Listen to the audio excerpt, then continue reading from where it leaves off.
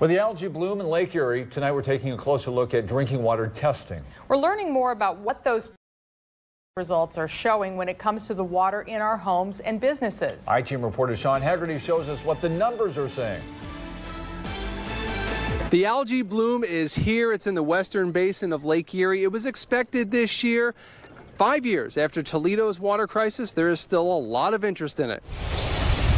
After a morning on the Maumee River, these Wright State students are taking their river samples back to their lab. They're studying phosphorus and nitrogen in the Maumee River, headed eventually to Lake Erie. What brings them here brought so many in our region to the topic of algae. The Toledo water crisis back in 2014 is really one of the big drivers that led us up here to start doing some research. Five years later, despite the bloom, people still fish. It's a perch.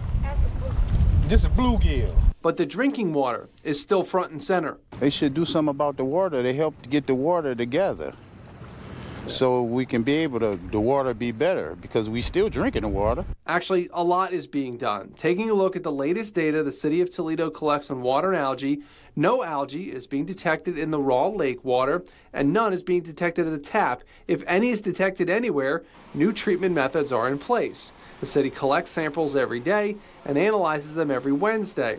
The data is available to everyone every day, but algae still and might be for the foreseeable future has people concerned.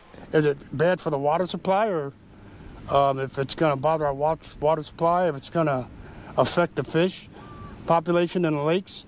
It's just, you know, nobody knows. On Thursday, the City of Toledo plans to roll out its testing protocol and procedures for 2019, dealing with an issue these future scientists might one day eliminate for one basic reason. Fresh water, um, obviously, is an extremely important commodity. So even though the bloom is in the lake, the water is safe to drink. All the data backs that up. Now back to you in the studio.